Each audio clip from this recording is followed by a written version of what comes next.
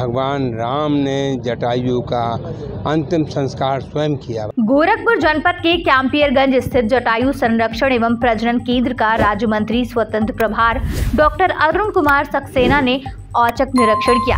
अपने निरीक्षण के दौरान मंत्री ने वृक्षारोपण भी किया। मीडिया से मुखातिब होते हुए मंत्री ने बताया कि जटायु यानी कि गिद्ध धीरे धीरे हमारे देश से विलुप्त हो रहे, जिसके संरक्षण हेतु उत्तर प्रदेश सरकार एक विशेष अभियान के तहत जटायु के संरक्षण हेतु अहम कदम उठा रही है, जिससे जटायु का संरक्षण हो और उनकी प्रजनन बढ़ सके।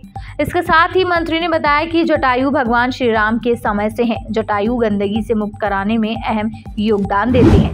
रार वन मंत्री अरुण कुमार सक्सेना जी हमारे साथ हैं। आपने गोरखपुर ज़िले के कैंपियरगंज तहसील में जटायु संरक्षण केंद्र का जो है निरीक्षण किया है।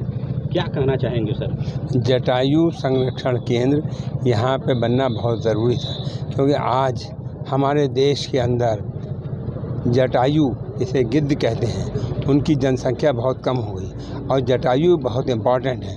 आप ये समझिए, भगवान राम ने जटायु का अंतिम संस्कार स्वयं किया। आप अंदाज़ा लगाइए, भगवान राम कितना मरते थे इनका।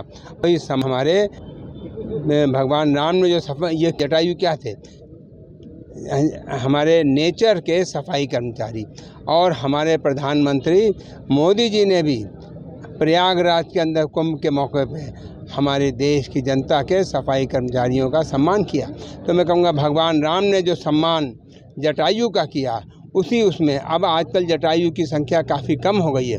उनकी संख्या को बढ़ाने के लिए यहाँ पर जटायु प्रजनन केंद्र खोला जा रहा है। अभी यहाँ चार जटायु हैं।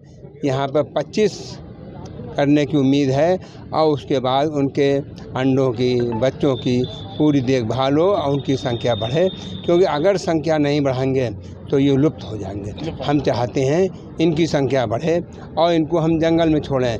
ये प्रकृति के सफ़ाई कर्मचारी हैं। कहूँगा ये कितने ज़रूरी है और जंगल में इनका छोड़ना बहुत ज़रूरी है और संख्या इनकी मैं समझता हूँ जल्दी ही बढ़ेगी। जटायु संरक्षण केंद्र के सभी संसाधन हैं? मैंने बताया अभी ये लगभग बन रहा है। काफ़ी कुछ पूर्ण है कुछ थोड़ी सी जो कमियाँ हैं वो भी पूरी हो जाएँगी हमने देख लिया है वो भी पूरी हो अच्छा पार्क है।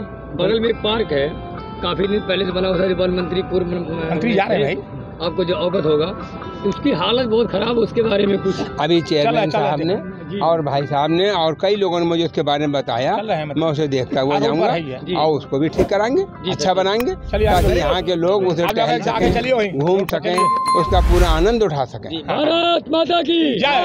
गोरखपुर से सचिन यादव की रिपोर्ट।